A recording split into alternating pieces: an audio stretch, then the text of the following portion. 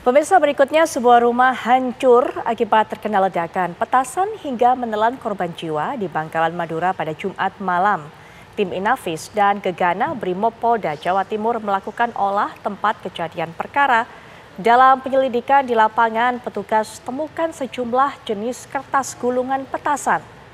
Petugas gabungan dari tim Inafis, Lab 4, dan Gegana Brimopolda Jawa Timur mendatangi lokasi tersebut guna melakukan olah tempat kejadian perkara.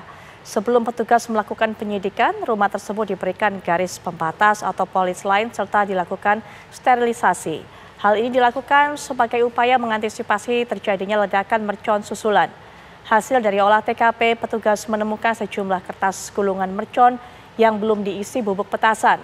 Masing-masing jenis petasan kemudian diamankan oleh petugas. Dugaan sementara petasan yang berada di rumah terdapat sekitar 1 kg bahan mercon. Karena kondisi berada di dalam rumah, sehingga menyebabkan daya ledak tinggi hingga menghancurkan rumah. Akibat ledakan mercon membuat tiga orang terluka parah, satu di antaranya meninggal dunia. Sementara dua orang lainnya dilarikan ke rumah sakit Pangkalan karena kondisi alami luka bakar di bagian tubuhnya.